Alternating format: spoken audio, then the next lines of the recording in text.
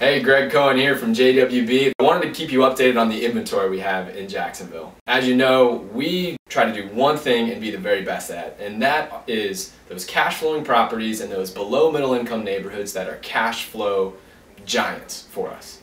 And that's going to help you achieve your long-term passive income goals. Well, we've got a new one here. It's, it's a home on Rosselle Street.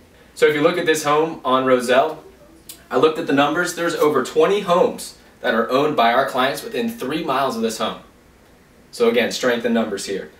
So as we look at Rosselle here, it's big home, five bedroom, two bath home, over 1,700 square feet, and the returns on this one, again, over 10%. It's really good for us. We tell our clients to expect between 8 to 10% returns now, and so if you're getting over 10% returns, over $290 in cash flow, you've really got something to pay attention to here.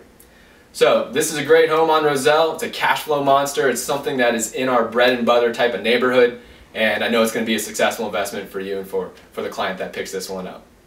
So if you're interested, go ahead, fill out the form here. We'll be quick to reach out to you and schedule a time to chat and see if this is a great fit.